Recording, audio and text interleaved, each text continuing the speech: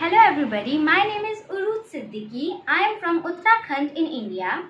I study in Global Indian International School 7D, living in Kuala Lumpur, Malaysia. I made a poem all about seasons. Namaste. Namaskar. Hello everyone. Namaskar.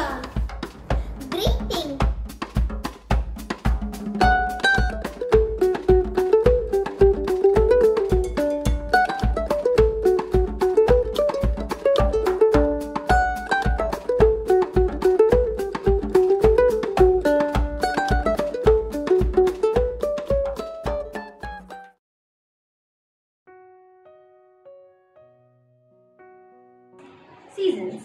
As the time passes by, a season comes on its way.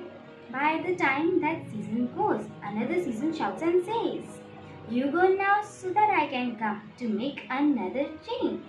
Four of the seasons are there, and all of them are equally fair. There are summers, hot, and winters cool, including spring and autumn too. Each season has its own time for coming or passing by. Summers are hot and the winters cold. Spring is blossom and the autumns fall. I like spring and autumn fall as the temperature is what I want. I plant seeds in the spring, go to pool in summers. In autumn, looking at the leaves falling from the trees.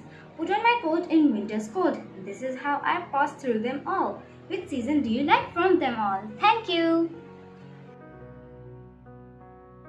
Hi there. Thank you for watching the video. I hope you liked it. If you did, please hit the like button and share the video with your family and friends. At the end, don't forget to subscribe the channel please. If you did not like it, please let us know what we could improve upon in the comment section. Remember that we have a responsibility to take care of our children, to help and motivate them to write, think, and perform better poetry. Having that in mind, this Children's Day we are bringing to you a collection of five special poetry performances in our Kavitabol Specials episode. So stay tuned for that and do watch it.